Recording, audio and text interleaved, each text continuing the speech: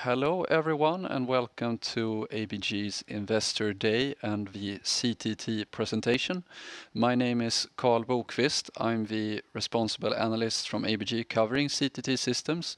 With us today, we have the pleasure to host CEO Torbjörn Johansson, and uh, live on the feed is also CFO Daniel Ekstrand.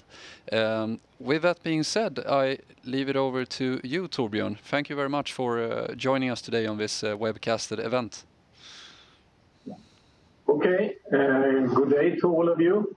I think we go directly to page number two. As you all know, we are working with humidity control in aircraft. We make uh, humidifiers, and we make dehumidifiers, and that is to control the climate both in the aircraft and in the sky. We take page number three. Uh, if we look at the first quarter 2020, that was for us business as usual. Uh, we delivered as we should do, an EBIT margin of 35%, and the cash flow adjusted for tax payment was very good, uh, 28 million.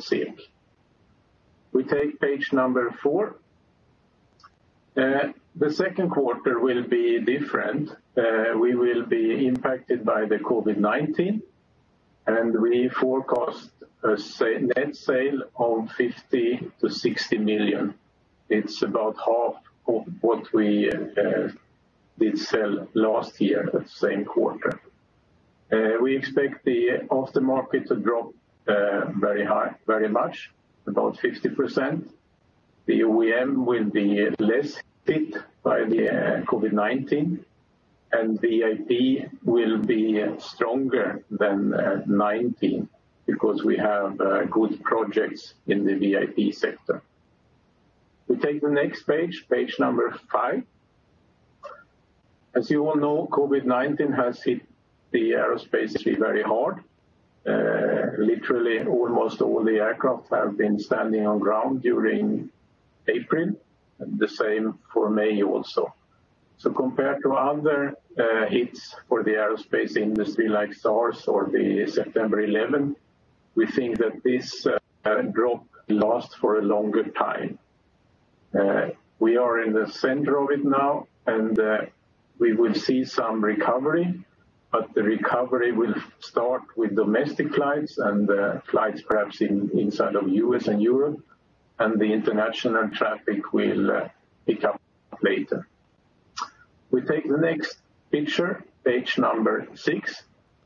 Uh, for CTT, this will mean, uh, if we look at our different business segments, if we start with VIP, we have a lot of projects we are working with. So for the VIP, 20 will be stronger than 90. If we look at retrofit, Uh, the red line, of course, it will drop to zero, more or less. Uh, this is because the airlines don't have any money to invest in any retrofit system, and that will last for some time until at least the airlines start to recover financially also. If we look at our OEM sales, that is very important. We will have a drop, but both Airbus and Boeing, they have decided to continue to build for us, especially the A350 and the 787. They will continue to deliver them to a lower pace than 2019, but still at reasonable levels. The aftermarket, which is important, very important for us financially, uh they are it is dropping now. We see that in the second quarter, and it will drop down as long as we have uh, going through this crisis. Uh, when it start to recover, it will recover with uh, the airlines when they start to operate the 787 and the A350 again. How quick that will go, um, we don't exactly know. But we take the next page, page number seven. As again, we said regarding the OEM, uh, Airbus has come out in April and say they will build A350 to a rate of six aircraft a month instead of nine as they had 19. That will last for 2020 and I think also for 2021. Uh, Boeing also stated in April that they will go down to about 10 aircraft a month during 2020, and then going down further until 2022, down to about seven aircraft a month. Uh, of course, this is uh, much lower than 2019, but it's still at a reasonable level for CTT. We take the next page page number eight. Uh, if we look at the aftermarket, of course, the aftermarket for everyone in the aerospace industry is down. It's uh, close to zero for many.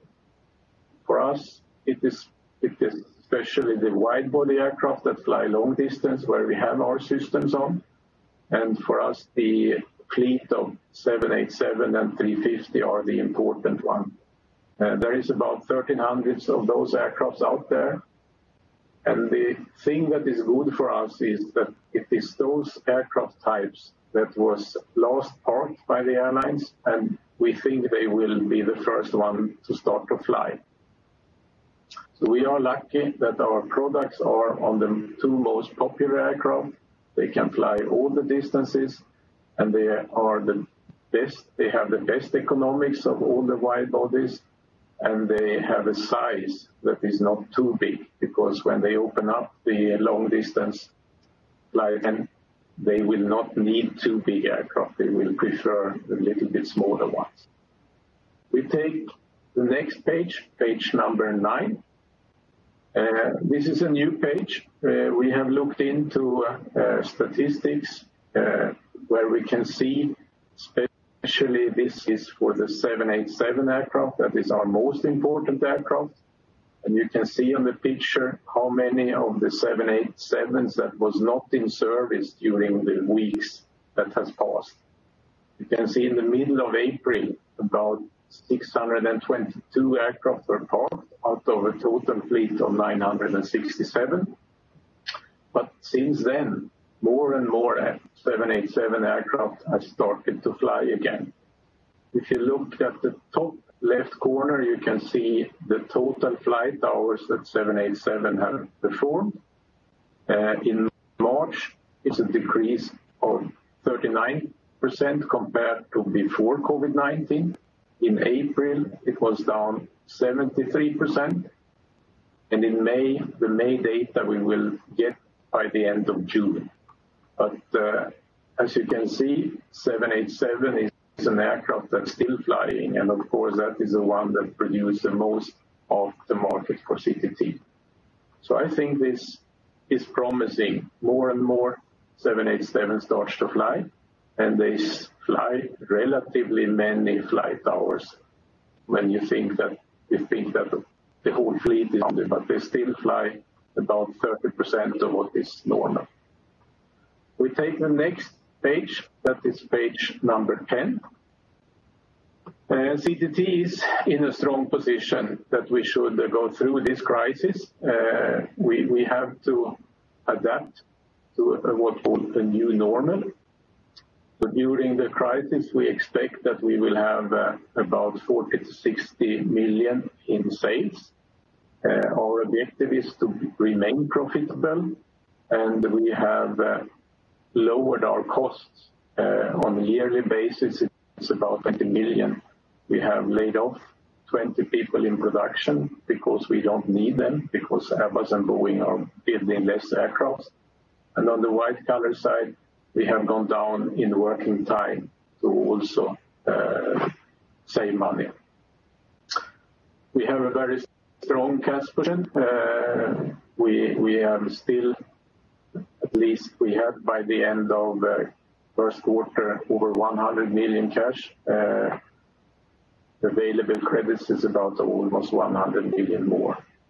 If we look at our different segments, uh, if you look first, the most important one is, of course, OEM. Both Airbus and Boeing is lowering the production rate of A350 and 787, but it's still reasonable. If we look a little bit further, uh, during 2021, Boeing starts to deliver 777X, and uh, they are ramping up production also on the MC-21, the Russian aircraft. and uh, a year later or so, we will start to deliver our first system for the Airbus narrow body family, first drying systems. If you look at retrofit, of course, that is not looking very promising. Uh, we will not sell retrofit system before uh, the airlines start to earn money. But on long term, of course, the drying system is good for the sustainability. The fuel saving is interesting, and we uh, we can save CO2. Humidifiers more interesting now for the cabin environment because it's not good with too dry air in the cabin. VIP looks strong during 2020, and as you know, we have started to work on uh, business jets. We have been thinking about that for many years now, but we got a chance to uh, develop our system for the biggest Bombardier Global aircraft, the 7500, and we expect to deliver the two aircraft during this year. So the business jet segment, is there is some potential for CTT. The aftermarket is, of course, uh, the sum of everything. Uh, we uh, we know that the aftermarket will recover relatively quickly for us because the A350 and the 787 are these aircraft that will earliest start to fly. And as we saw later earlier on the page, 787 is still flying, even if we have the crisis. And you should also remember that even if we produce less aircraft or produce system to less new aircraft, every aircraft we deliver to is increasing our growth in the aftermarket. Even if it's at a slower pace, the aftermarket will continue to grow. We take the next slide. That is page number 11. Here you can see, uh, I like to show you aircraft pictures, but here you can see what we are working with for the future. On the left top corner, you have the Global 5 7500, an aircraft that can fly 15 hours, a private jet uh, with a relatively big cabin. There we are now developing two system for two aircrafts. You have the uh, A321XLR. We are developing the uh, drying system, which will be uh, offered in the whole A320neo family.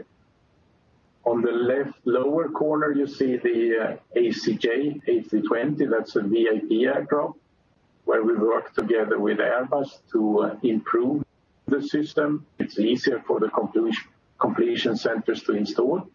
And in this program, Airbus will support us in selling the system. They will recommend our system for the Airbus Corporate Jets aircraft. Uh, it's very important that uh, Airbus is in the favor of our system and recommend the VIP customers our system. On the right lower corner, you have the fin of the, or the, I think it's the winglet of the 777X. That is, of course, an aircraft that Boeing starts to deliver in next year. And uh, we have humidifiers on that, and we have humidifiers for first class on the launch customer, Emirates. And I think ANA will also be an early customer where we have humidifiers for cockpit business class and first class. We take the next picture. That is picture number uh, 12. As we said, OEM programs, 777 is coming. We have MC-21 is coming next year also. And uh a very big OEM program could be the A320neo. And that is from 2023 onwards. We take the next picture picture number 13. Here's a slide we have made to show you a little bit what the airline industry do to really try to get the passenger back into the aircraft again. Uh, first of all, you should know that uh, the modern aircraft like the A350 and the uh, 787, they have very good ventilation systems in the aircraft. They change the air very frequently, and they have very efficient filters. So I think in the aircraft, it's really a good environment. So there is no not more risk principally to to catch uh, the viruses in the aircraft than in the airport or anyone else, anywhere else. Boeing, they have started a confidential travel initiative where they go out and try to help the airline make different measures that will make flying safer. That's a program that is ongoing. And the International Society IATA, they do a little bit the same. The, the airline industry really tried to do a lot of things that uh, will make travelers safe and uh, increase the confidence by the passenger that it's okay to start travel again. We take the next picture, and that is uh, picture number 14. Uh, we, of course, make humidifiers, and uh, it's well known that it's not good for the human body to sit too long in very dry environment. If uh, if you fly long haul, if you fly business or first class, you have a relative humidity that goes below 10%. And of course, the uh, all the, the aircraft or the passenger they dehydrate, and the mucus on the people are affected by this dryness. And if you dry out, if your immune system is weakened, you have a bigger risk to catch a cold, and also, of course, COVID-19. Uh, this is well known, and uh, I think we have a possibility that uh, uh, this dry environment in long distance aircraft, especially in first and business, could be discussed. And perhaps when the crisis is a little bit over, or at least we have come some time, it could be that airlines are more interested to invest in humidification for premium passengers, but also for the crew and, and the pilots. So, so I, I hope that our product, we are sure that our, our product uh, is good against uh, dehydration. And I think uh, dehydration will be discussed during this pandemic and the effect it has on the immune system. So perhaps we could have some help. So we take the next picture. Uh, that is the last one. So if you should fly long haul now, and if you should fly business class, I would say, it's a little bit bullish perhaps, but I would say the two best airlines you can fly with is China Southern and Aeroflot, because they have the most modern passenger aircraft, the A350, where with a very good ventilation system, very good filtering systems, but they also have humidification for business class.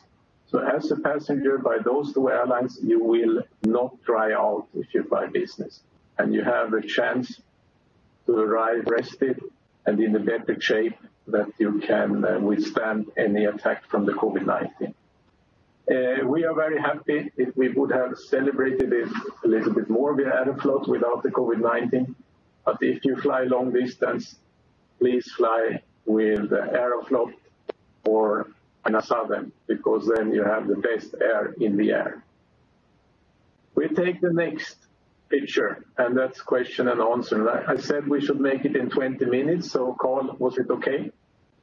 Good. Thank you, and we'll uh, keep uh, Aeroflot and China Southern in mind once we we feel that we can or are allowed to fly again. Um, so uh, perfect. A first question revolves around a bit uh, short term or near term data, I should say. Uh, you touched upon uh, the data that you've seen regarding the B787 Dreamliner, but uh, otherwise, can you give us an update on what you have seen now during during May on your end in terms of OEM deliveries and aftermarket? Have you seen any changes from the situation we had in March and April, perhaps? We have predicted that the aftermarket goes down. Uh, so uh, uh, we have no, we see nothing else than what we expected. And regarding OEM sales and so on, uh, it's uh, like planned. Boeing had a gap in uh, April. Seattle Seattle operation and South Carolina, but both plants are working again, so we deliver again. Hmm. Also, and on the VIP side, as we have said, we have uh, big projects and good projects, and they are running as usual. Mm. On the retrofit, of course, we are down to more or less zero. Mm.